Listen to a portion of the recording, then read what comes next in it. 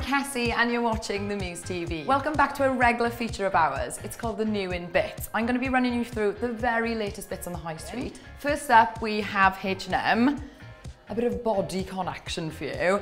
I love this because autumn winter is all going to be about like baroque prints and things like that. And this is a really, really good way of getting in there early. If you're still flirting with your florals, then these lovely trousers are going to do the trick. They're very relaxed and they're a bit sort of pyjama wear, which is really nice. Cobalt blue is a key colour for autumn winter, so get in there early with this biker jacket. It's sort of like a suedette finish of it, very cool and very rock and roll.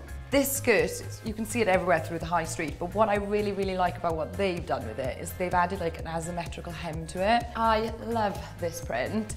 It's super, super galaxy. It's very Christopher Kane. Colours look awesome as well and look great with just a pair of jeans, I guess, to jazz it up.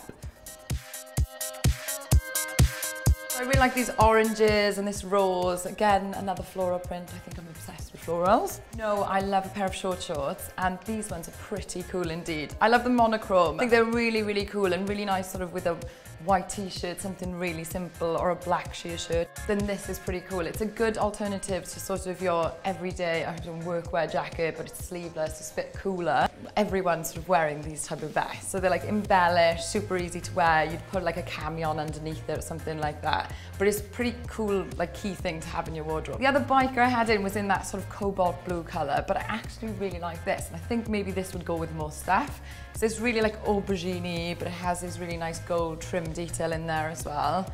This is an ode to Alexander McQueen. It's knitted, but it has these skull sort of details in there as well. So I think it's actually a cool way to update sort of knitwear. This is a really, really nice, lightweight, perfect sort of print vest pop thing. I think it'll jazz some outfits up. I really like this piece.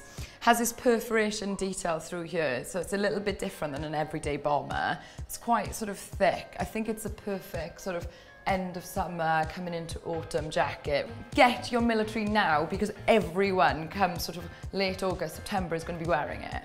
And I love this jacket. It's from their sort of vintage reclaim section really sort of boyfriend cut. It's going to look really cool at festivals, but we'll see you through to autumn winter. Check out these bad boys. They're a classic Chelsea boot, but I love this sort of neon detail through here. New look. I love this shape through here.